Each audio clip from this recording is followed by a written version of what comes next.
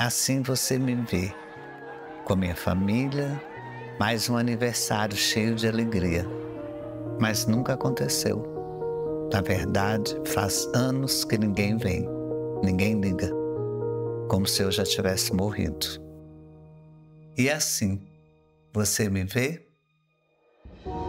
O abandono e outras violências são a realidade de milhares de pessoas idosas.